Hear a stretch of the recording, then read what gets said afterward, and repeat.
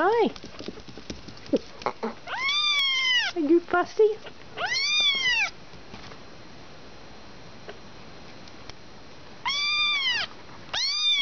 You're such a loud mouth.